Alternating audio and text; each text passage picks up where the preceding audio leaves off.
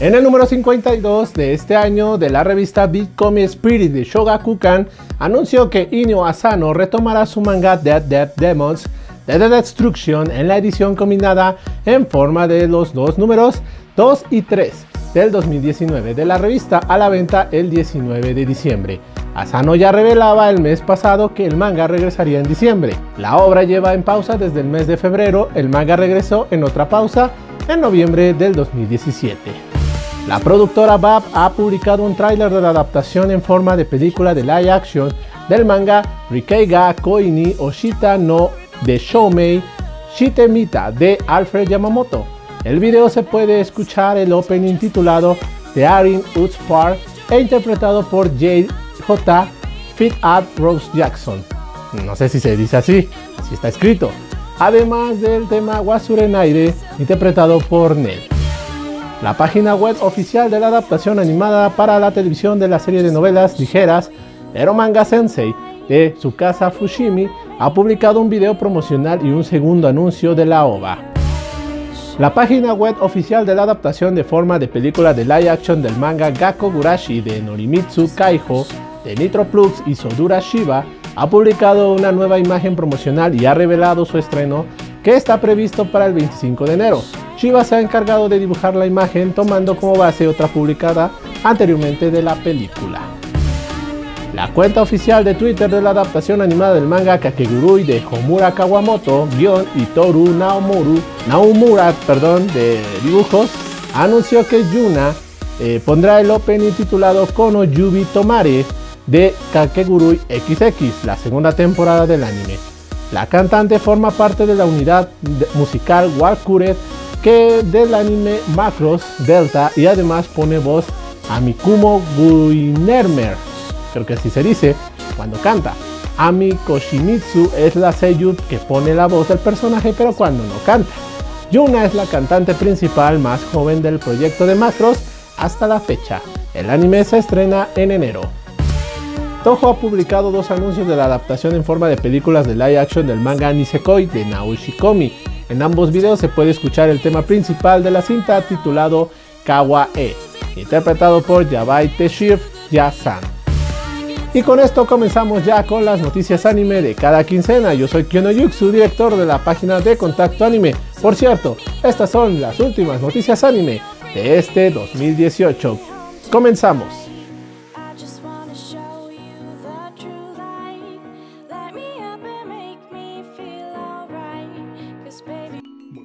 Como ya es costumbre, aquí en el canal me toca dar las noticias de anime de este año, porque pues si no me sacan del proyecto y como no quiero y ustedes no quieren que me saquen del proyecto, ¿verdad que no quieren? Pues me toca decir las noticias de anime de pues esta temporada. Así que bueno, vamos a darle. El número de enero de la revista Afternoon de Kodansha ha anunciado que Hiroki Endo finalizará su manga Soft Metal Vampire en el próximo número de la revista a la venta en diciembre. Una pequeña sinopsis. El manga tiene lugar en un momento en el que la era de la humanidad ha pasado y los vampiros son los nuevos gobernantes del mundo. La historia gira en torno a Mika Itsuki, una chica que vive bajo el imperio de los vampiros y que un día conoce a Tsunabe Alan, un vampiro. Endo lanzó el manga en la revista en agosto del 2016. El quinto tomo recopilatorio se publicó el 23 de octubre. Sinceramente, una historia de vampiros es algo que viene haciendo falta desde Bio Brando. En el número de enero del 2019 de la revista Monthly Shonen Ace de Kadokawa ha anunciado que el manga Yankoma Susumiya Haruhi-chan no Jutsu de Puyo finalizará en el siguiente número a la venta el 26 de diciembre. La parodia de la serie de novelas ligeras Haruhi Susumiya de Nagaru Tanigawa y Noichi Ito se lanzó en la revista en julio del 2007. El tomo recopilatorio número 11 se puso a la venta en febrero del 2017. Recordemos que la obra también tiene una adaptación animada en forma de cortos estrenada en 2009. Y bueno, yo sé que a nuestro jefecito le va a doler esa historia, pero pues ya va a poder leerla completa y le va a dar un final feliz, espero. SNK ha anunciado que la franquicia de juegos World Heroes tendrá una adaptación manga que se lanzará en el número de febrero de la revista Monthly Heroes de Shogakukan. Kimitoshi Yoko dibujará el manga. El juego original de lucha World Heroes se lanzó en 1992 para la consola Neo Geo, seguido de World Heroes 2, World Heroes 2 Jet y World Heroes Perfect. Bueno, solamente espero que salga Terry. creo, no sé. ¿Terry es de aquí? El número de diciembre de la revista Manga Life Momo reveló que el número de enero del 2019 será el último de la publicación. La revista incluyó un mensaje. Muchas gracias por leernos estos 15 años. Todos los mangas que se publican actualmente en la revista aparecerán en la portada del número final. El número publicará también mangas especiales realizados por Chino Kurumi, Ru Tatuki, Tamami Momose, Shungi Kosaka y Shippo Usui. El manga Morita-san wa Mukuchi de Taesano continuará en las revistas Manga Club y Manga Live oficial de Takeshow. El manga Morita-san wa Mukuchi de Taesano continuará en las revistas Manga Club y Manga Live oficial de Takeshow. Los mangas Okusama wa Idol de Tokoshiwasu, Famires no Nagai-san de Etsuya Mashima, Oni-chan Before After de Kanami Uchimura, entre otros, se trasladarán a la Manga Club, mientras el manga Oneche Ngakita de Riko Ansei continuará en la revista Manga Life. Los mangas Sangosa no Gara Shell de Tomoye Kuroya y Haritoge Clemito Oniwa de Yuine han finalizado en el número final de la revista. La revista Manga Life Momo se lanzó en el 2003 y bueno, creo que acaba de llegar a su ciclo, una revista más de mangas. Espero que les haya ido pues bien en el cierre y pues que sigan adelante en las demás obras. ¡Oh my god! El primer número del 2019 de la revista Weekly Shonen Jump de Shueisha revela que el manga Hintama de Hideaki Sorachi, revista Jump, llega en su edición de invierno. El manga tendrá un capítulo de 52 páginas que incluye una página color. Jump Giga publicará un capítulo en tres números consecutivos, apareciendo también la obra en portada de cada uno de esos números. El manga terminó el 15 de septiembre en número 42 de la revista Weekly Shonen Jump como estaba planeado, pero Shueisha anunció que el manga continuará en la revista Jump Giga a partir del número de invierno por un tiempo más. O sea, van a alargar el manga.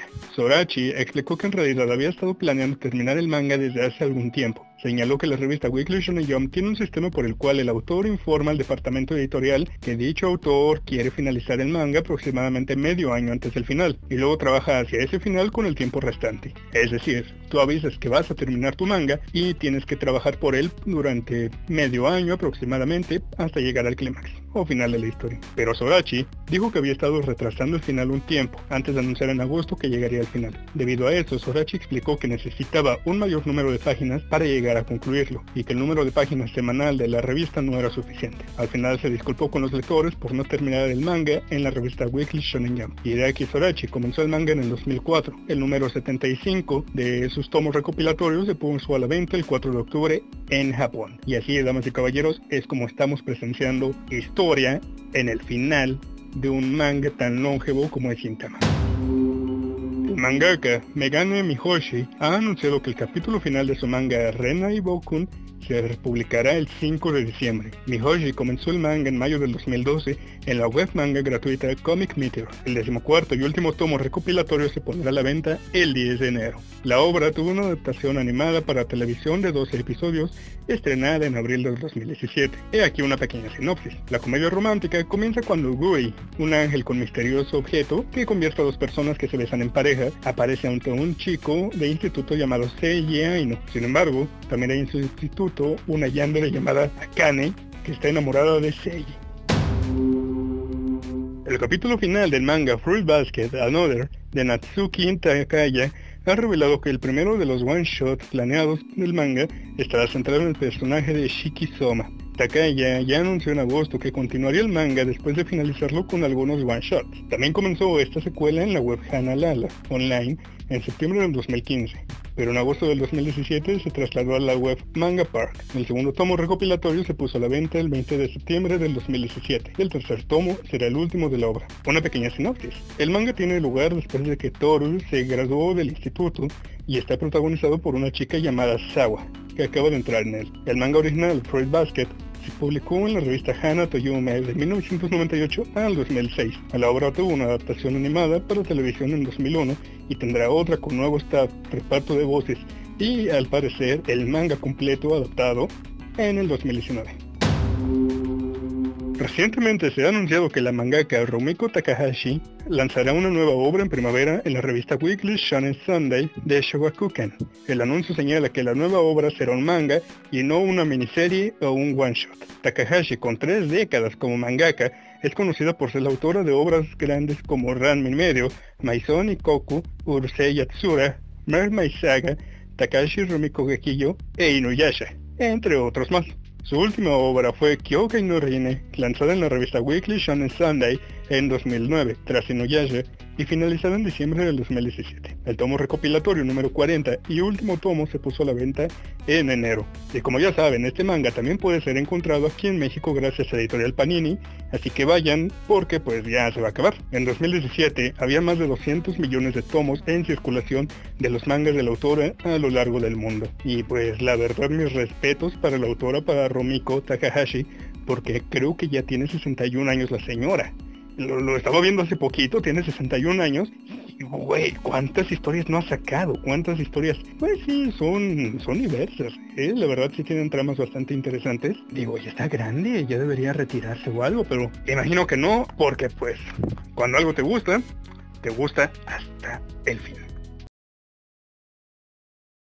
Y bueno, vamos a pasar a una noticia un tanto triste, ya que recientemente se ha anunciado que el director y guionista Akira Miyazaki falleció el domingo debido a un cáncer de las vías biliares, a la edad de 84 años. El funeral se llevará a cabo el jueves 29 de noviembre con su hija mayor, Momoko, como representante. Akira Miyazaki escribió los guiones de seis películas de la larga serie de películas de Otoko wa Tsureiyo e hizo su debut como director con la película de 1971 Naite Tamaruka. Algunos de los animes en los que trabajó como guionista son Areiguma Rascal, Perrine Monogatari, Tom Sawyer no Boken, Kaito Lupin, 813 no Naso, Yuki, Oz no Mahutsukai, Minami no Niyo no Lucy, Makiba no Shoyo Katri, Aino Wakakusa Monogatari, Bochan, Kumo no Yoni, Kase no Yoni y Kenoshi Muminika.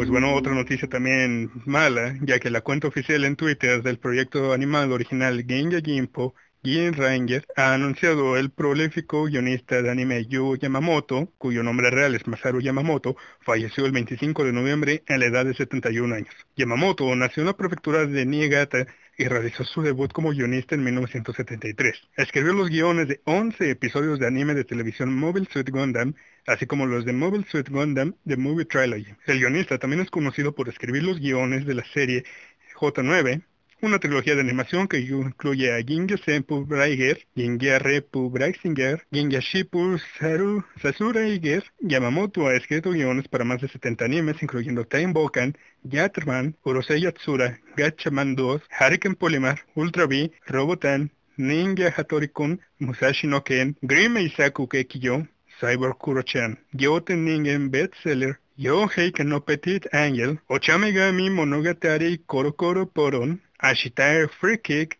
y Sendaman. También escribió novelas bajo el alias Amamiya Kiyochiro, además de obras de teatro, programas históricos, de televisión, etc.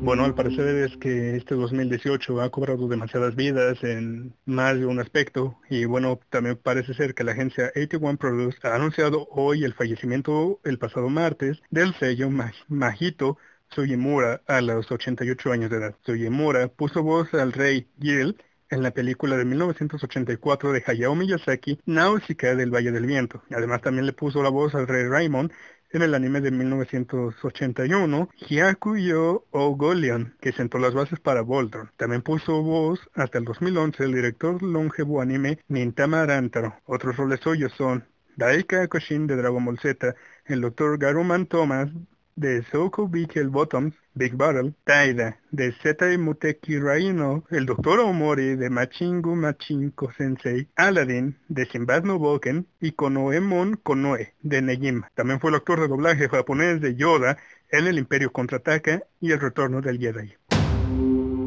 Netflix ha anunciado durante su evento Anime Lineup Presentation el reparto de voces, los compositores, una nueva imagen promocional, un tráiler, y la fecha de lanzamiento a nivel mundial prevista para el primero de abril de su adaptación animada del manga Ultraman de Eiichi Shimizu y Tomohiro Shimoguchi. Una pequeña sinopsis. Hace algunas décadas, un ser conocido como el Gigante de Luz fusionó con Shin Hayata para salvar la Tierra de la invasión de unos terroríficos monstruos conocidos como Kaiyo. Ahora, muchos años después, esos días oscuros se desvanecen de las memorias de las personas y el mundo está en paz. Pero en las sombras, creciendo una nueva amenaza, un peligro que solo puede enfrentar un nuevo tipo de héroe, un nuevo tipo de Ultraman. Shingiro es un adolescente común pero su padre es el legendario Shin Hayata. Cuando se entera de que su padre le transmitió el factor Ultraman y que posee increíbles poderes, nada volverá a ser lo mismo. El dúo comenzó el manga Ultraman basado en el popular personaje de la revista Monthly Hero a la venta el 5 de diciembre. Netflix, durante su evento Anime Lineup Presentation, anunció que Knights of the Zodiac, Saint Seiya, también conocido como Caballero del Zodiaco, y su adaptación animada en forma de remake de 3D del manga Saint Seiya de Masami Kurumada, se estrenará en verano del próximo 2019. Netflix añadió que será un lanzamiento global y ha publicado una nueva imagen promocional. La primera temporada de 12 episodios y cada uno de ellos de 30 minutos de duración narrará desde Torneo Galáctico hasta los combates con los Caballeros de Plata. Una pequeña sinopsis por si has estado debajo de una piedra los últimos 20 años. La historia sigue a Seiya, un mortal que entrena para conseguir la armadura de Pegaso y poder formar parte de los Santos, un grupo de guerreros que tienen como misión proteger al planeta y defender a la reencarnación de la diosa Atena. Kurumada publicó su manga Saint Seiya desde 1986 hasta 1990. El manga ha tenido varias adaptaciones animadas para la televisión, ovas, películas de animación, mangas spin-off, etc. Y también se ha dado luz verde para hacer una película live action en Hollywood. La adaptación animada del manga spin-off de Saint Seiya Saintia Show se estrenará el 10 de diciembre. Y bueno, yo solamente digo, ¿cuántos años tiene Caballeros del Zodiaco que salió? Unos 30 años aproximadamente, 20, 25 años, algo así, no estoy seguro, soy malo en matemáticas, lo siento, pero soy bueno en decir que ya chole con las 12 casas, ¿no? Por favor, o sea, estoy casi seguro de que absolutamente todos, mi mamá vio Caballeros del Zodiaco, mi abuelo los vio, mis hijos lo van a ver, Caballeros del Zodiaco, y siempre van a estar repitiendo las mismas 12 casas, por favor. O sea, como si no tuviera Poseidón, como si no tuviera este Hades, como si no tuviera a la saga de Asgard, o sea, o sea, al menos en Saintia Show van, nah, están también van a ser 12 casas, ay qué asco. Otra noticia más del mundo en Netflix ya que anunció durante su evento el Anime Lineup Presentation, ya lo dijimos tres veces, el reparto de voces, el staff y la fecha de estreno prevista para abril de la adaptación animada del manga Seven Seeds de Yumi Tamura. Una pequeña sinopsis. En el futuro inmediato, un meteorito gigante ha chocado contra la Tierra. Todos los organismos vivos, incluyendo seres humanos, han sido borrados de la faz del planeta. El gobierno que había previsto esta catástrofe tomó medidas para contrarrestar el peor de los casos. Creó un proyecto llamado Seven Seeds, el cual consistía en seleccionar y colocar en cinco equipos primavera, verano A, verano B, otoño e invierno, de cinco series de siete chicos y chicas, jóvenes superdotados cuidadosamente elegidos. Después, cada participante fue sometido a un sueño criogénico con la esperanza de preservar la existencia continuada de la humanidad. Cuando los chicos y las chicas se despiertan sin saber nada sobre este proyecto, se ven de repente arrastrados a un mundo cruel. Aún así, esforzándose por superar la pérdida de sus seres queridos, intentan encontrar una forma de sobrevivir en este nuevo mundo y desconocido caótico. Tamura lanzó en noviembre del 2017 el manga Mystery No Nakare, y su tercer tomo recopilatorio se puso a la venta el 10 de octubre. Otra obra de Tamura fue el manga Bazar, publicado entre 1990 y 1998, y que tuvo una adaptación animada en televisión en el 98.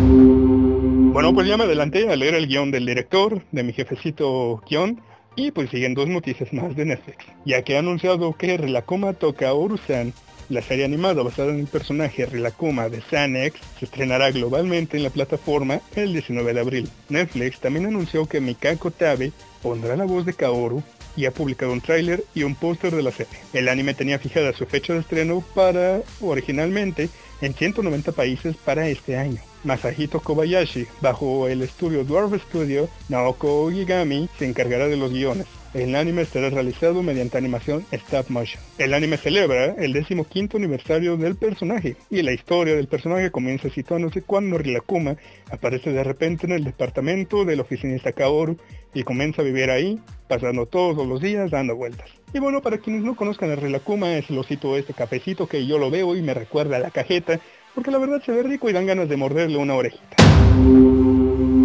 Como última noticia para el mundo de Netflix, han anunciado que producirá una serie live action basada en el anime Cowboy Bebop. ¿Qué? Así es, la serie tendrá 10 episodios y será coproducida entre Netflix y Tomorrow Studios. Shinjiro Watanabe, director del anime, será consultor en este proyecto. El anime original realizado por el estudio Sunrise se estrenó en 1998 y estuvo compuesto de 26 episodios. La acción nos sitúa en el año 2071, donde los cazarrecompensas han vuelto a la acción, y los personajes Spike, Jet, Fi, Ed y Ain viajan en una nave llamada Bebop en busca de delincuentes espaciales a los que echar el lazo, pero durante su periodo deberán enfrentarse a sus fantasmas del pasado. Así que bueno, Cowboy Bebop es una serie de culto, es una serie muy reconocida, casi a la altura de otras obras maestras como eh, eh, esas. Iba a decir Evangelion, pero se me saltó. Que por cierto también Evangelion va a estar en Netflix. Así que bueno, espero sinceramente que nos den una buena adaptación, que no la rieguen, que nos den a Benedict Cumberbatch como Spike Spiegel. Y bueno, see you, Space Cowboy. TV Asahi y Fuji TV han anunciado respectivamente que Doraemon y Chibi Maruko-chan tendrán especiales de Navidad. El especial de Doraemon se titulará Mirai no Christmas Card y se emitirá el 7 de diciembre. Una pequeña sinopsis. La historia del especial se va a centrar en el dispositivo tarjeta de Navidad de Doraemon que le permite al escritor experimentar un mundo de lo que escribe en la tarjeta. Mientras Doraemon escribe comiendo muchos pasteles de Navidad, Gian escribe un mundo sagrado invadido por Gian, creando un mundo distópico. Subaru Kimura, sello de Gian, interpretará una canción navideña original para el especial titulada Ding Dong Christmas No Majo. El especial de Chibi Maruko-chan consistirá en tres episodios titulados colectivamente Chibi Maruko-chan Mo Christmas Shonai no Do Yeman Special, emitido el 23 de diciembre. Los episodios se titularán individualmente como Nensho, Shinai no Do Yeman Taikai, Mimatsuya no Nayami y Tsukiyaki Tabetai. El primer episodio girará en torno a un torneo que se celebrará en el vecindario. Y bueno, pues Doraemon es una serie muy longeva, creo que todo el mundo lo conoce al gato cósmico. Porque bueno, ¿quién no quiere al gato cósmico? Lo siento, por favor, no me dejen hacer las noticias de nuevo hasta dentro de un año o les vuelvo a cantar. El número 52 de este año de la revista Weekly Shonen Jump anuncia que el manga Boku no Hero Academia de Kohei Horikoshi tendrá una adaptación teatral titulada Boku no Hero Academia de Ultra Stage. La obra se representará en Tokio y Osaka en la primavera del 2019. Yota Motoyoshi se encargará de la dirección. Y bueno, como ya saben, el manga de Boku no Hero Academia está siendo publicado aquí en Panini y los de Konichiwa Fest nos trajeron la película de Boku no Hero Academia, Two Heroes. Así que bueno, esperemos el estreno también de Boku no Hero Academia One Justice para las diferentes consolas de videojuego. Y mientras, esperemos también la cuarta temporada del anime. No manches, Boku no Hero está arrasando con todo ahorita. Se nota mucho que se perfila para ser uno de los mejores shonen de, este, de esta temporada, pues. Y mejor para mí porque me encantan los superhéroes. Y bueno amigos, espero que les haya gustado este video. No sé si mi jefecito vaya a darles unas palabras o pues si ya van vayan a hacer esto, pero de todas formas yo me despido. Los quiero mucho y muchísimas felicidades. Gracias por estar con nosotros un añote más. Espero que les haya gustado este video. Suscríbanse, denle like, compartan y todo. Y pues bueno, estén a tanto a futuras publicaciones, redes sociales, videos y demás, porque todavía no se acaba este año. Y pues bueno, nos vamos a estar viendo el siguiente año. Se despide Couta León y les deseo una muy bonita Navidad. Feliz Año Nuevo y todas las festividades, pero me da flojera decirlas, no por falta de respeto, sino porque tengo sueño. Los quiero. Con esto amigos terminamos ya las noticias, las últimas noticias anime de este 2018, pero antes quiero yo darles un comunicado o bueno, las fechas de nuestros próximos siguientes videos, que de todos modos en los próximos videos les voy a recordar las fechas como van. Dentro de 15 días, por ahí del 19 de diciembre, vamos a subir ya los estrenos anime de la temporada invierno 2019. Así que estén muy pendientes, pero en esa fecha, por ahí del 19 de diciembre, vamos a subir los estrenos animes del invierno 2019. Por ahí nos vamos al 21 de diciembre, donde bueno, pues ya sería el viernes, último día de actividades en el contactoanime.com, porque de ahí ya no vamos a publicar nada. Pero el día 21 de diciembre vamos a subir el video de la, bueno, el especial de Navidad del Contacto Anime. Espero que les guste, como les digo, va a estar Couta León corriendo, entonces va a venir de un lugar muy lejano, entonces va a venir a México este, y vamos a grabar, ¿no es cierto? Ya les estoy spoileando un poco, pero ese es el video de Contacto Anime. Así que el 21 de diciembre vamos a subir el video de Navidad de Contacto Anime y bueno, fin de actividades de este año 2018 también del contactoanime.com. Y de nueva cuenta nos vamos al 26 de diciembre, donde vamos a subir el top 10 de los mejores animes del 2018. Vamos a dar ahora sí que los 10 mejores animes que, bueno, un poco personal mío, pero a la vez también de lo que las páginas de internet que consulto yo dan a conocer como los mejores animes, porque pues sí le modifico un poco para que ustedes también estén de acuerdo conmigo. O bueno, es una lista más o menos mía, pero también colaborando otras páginas que yo consulto. No les voy a decir las fuentes, pero sí son páginas que yo consulto, pero a la vez también un poco decisión mía de qué animes entran y qué animes no. Aunque hay algunas veces que sí están de acuerdo y otras que no están de acuerdo, pero de todos modos ustedes también díganme cuáles son sus 10 animes favoritos de este año 2018. Ya, ya estoy del próximo año. Entonces, ese sería el 26 de diciembre. Y bueno, ya, el último el último día del mes, el último día del año, el 31 de diciembre, vamos a subir los top 10 de las noticias animes las 10 noticias animes que han marcado el 2018, las 10 importantes que ha pasado en Japón, eh, que ha pasado aquí en México también y también en, bueno, todo el mundo. Entonces son las 10 noticias que impactaron o las 10 noticias que dieron de qué hablar en el 2018. Con eso ya el 31 de diciembre lo subimos, pero ya con eso terminamos ya las actividades del contacto anime. ¿Y cuando regresamos? Pues vamos a regresar a principios de febrero, por ahí de esas fechas. Principios de febrero vamos a regresar ya en, el canal de Contacto Anime con el podcast. Y de ahí nos vamos, yo creo que también ahí, o no sé, estamos viendo si hay, o la primera quincena de febrero, vamos a empezar ya otra vez con una nueva temporada de las noticias anime de cada quincena. Y bueno, el, el contactoanime.com regresa de sus, de sus vacaciones a mediados de, mm, de enero aproximadamente. Creo que la segunda o tercera semana de febrero vamos a regresar con las noticias anime en el portal de contactoanime.com. Por cierto, quiero agradecerle, y ya esto se me estaba olvidando, agradecerle a Couta León por haber participado en este video. Eh, ya lo teníamos planeado hace 15 días, pero desgraciadamente ni yo tuve el tiempo de poder grabar ni nada por el estilo, ni, ni le mandé, ni, le pude mandar el guion a Couta León, porque mi internet aquí de la casa está fallando, entonces por eso ni siquiera tampoco publiqué en la página de Contacto Anime, pero ya estamos retomando ahora sí, ahora sí que estos videos, pero a la vez también retomando la publicación en la página de contactoanime.com. Así que vamos a seguirle y también quiero aprovechar ahorita en este último noticias anime de este año 2018 que bueno, voy a pedirles una disculpa porque hemos estado faltando algunos 15 días.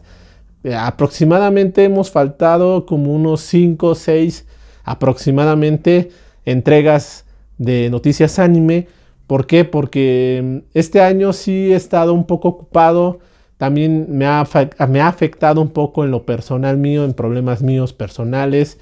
Eh, de salud y de algunas cosas que me han pasado en este año personales, no tanto de la página ni de mis compañeros o amigos de Contacto Anime, que con ellos me llevo bien y hemos trabajado bien en este proyecto, pero personales mías, ajenas a ellos y al Contacto Anime, pues sí me ha pues detenido en este proyecto. Entonces sí les pido una disculpa a todos ustedes por haber faltado en, esto, en, eso, en esos tiempos, en esos 15 días, o en las fechas de que tenía yo que subir videos. También, desgraciadamente, no hemos subido muchos videos así con contenido diferente, aparte de las noticias anime, aparte de los podcasts, porque pues tiempo también de nosotros. Algunos trabajan, otros estudian. Entonces no podemos estar así en, el en, en, esto del proyecto. Entonces no estamos al 100, estamos como al 50 con ellos y yo al 70 y así un montón de cosas, aunque bueno, ya, ya me bajé con ellos al 50, un montón de cosas, la verdad sí ha pasado. Si escuchan cosas allá afuera, bueno, de allá afuera, digo, cosas así raras, por ejemplo, no sé si se captó este micrófono, pero se escucha, por eso me detengo o detengo la grabación, porque pasa el tren, entonces, desgraciadamente vivo cerca de un tren, entonces pues, ya ven. Pero también les pido una disculpa sobre eso, pero ya des en cuenta de que sí pasa un tren aquí. Entonces, como les digo, una disculpa por haber fallado en algunos días que no hemos publicado. Y bueno, he hecho video y publicado. Ya saben que yo me llevo casi medio día en hacer guion, en grabar, en editar y luego subir. Entonces, si se atrasa un poco, me atrasa un poco o ni siquiera puedo hacer las noticias anime. Entonces les pido una disculpa de corazón. Yokio no Yuxu, Mario Rodríguez, pues ya les voy a decir mi nombre. Les pido una disculpa.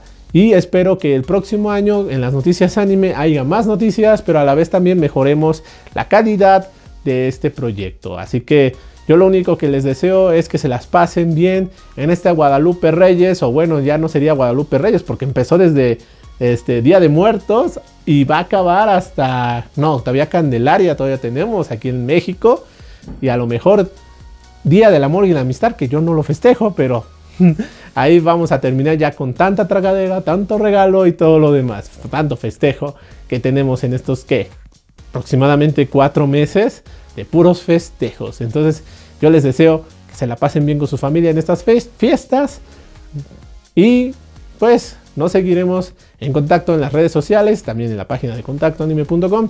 Síganos y suscríbanse al canal de Contacto Anime MX. Bueno, sin más preámbulos, ya yo, me despido. Se despide de ustedes Kyono su director de la página de Contacto Anime. Ahora sí ya acabaron los avisos parroquiales. Recuerden los videos, ya los dije, regresenle si no se lo, no se lo perdieron. Si no, aquí abajo en la descripción, a ver si nos da un espacito. Les ponemos los días de los videos que vamos a subir en estas fechas.